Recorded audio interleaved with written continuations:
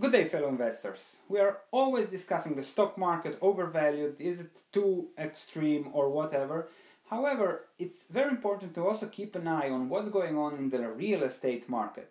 Is it overvalued? Are there a lot of bubbles? Because everything that happens in the real estate market will have extreme repercussions on whatever happens in the economy and especially on the stock market.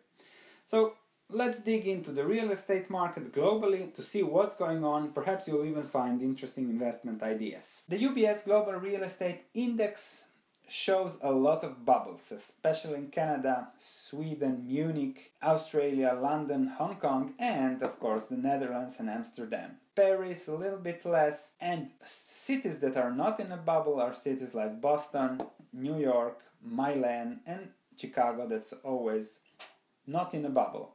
Here you can see the infographic from a global perspective. So the more you go to the north, the higher bubbles, and Hong Kong and Sydney, of course. Cheap, Singapore, Milan, Boston, New York.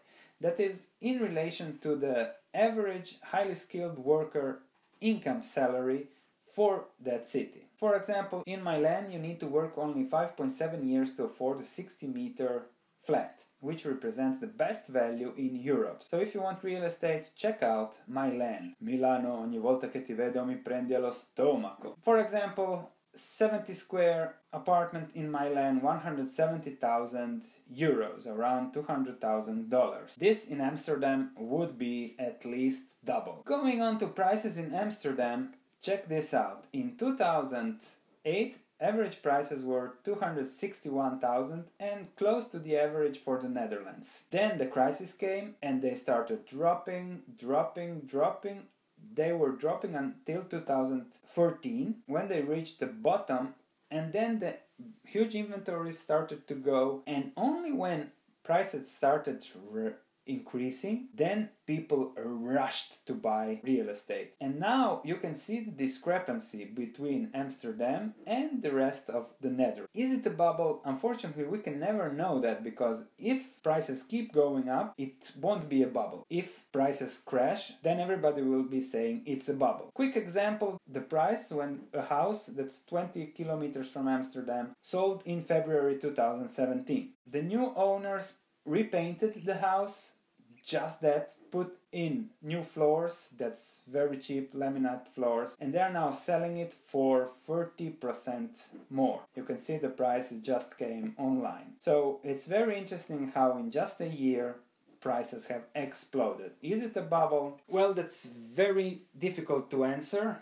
but it can have huge repercussions on the economy and macroeconomics and that's what we are going to look now. If you look at Real estate prices, they have increased 30% in just a year. However, European inflation rate is just at 1.5%. This means that inflation is measured wrongly because a lot of young people have 40 40% of their income going for housing and that's not measured here so of course oil prices dropped means prices of a lot of things dropped but the income that goes for housing is very very high and with higher prices, it all then boils down to the interest rate. In the Netherlands and in Europe, interest rates have really fallen thanks to the ECB, and there isn't much difference if you take a loan now and two years ago in what you pay per month. However, this means that the ECB will never be able to increase those interest rates because a lot of those mortgage payments will increase significantly. That will lead to people being unable to pay, and perhaps even to a real estate market collapse that will disseminate disaster across Europe.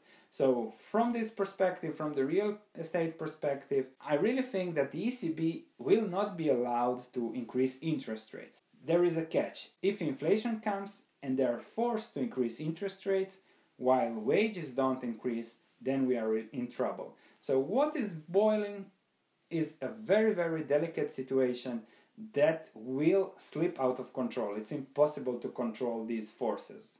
We'll see how it ends up. However, there is a bubble. It will probably be called the ECB bubble, the quantitative easing bubble, when it will burst as soon as somebody loses control. And we'll see what happens. Perhaps even house prices will continue to rise because there will be inflation, so you never know.